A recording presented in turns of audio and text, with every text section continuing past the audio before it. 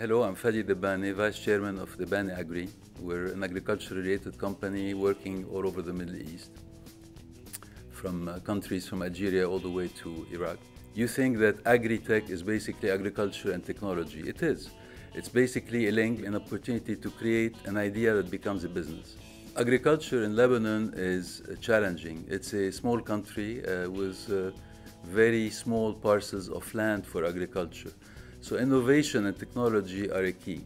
If you look at who is actually funding this uh, from the start, it's Holland, Netherlands.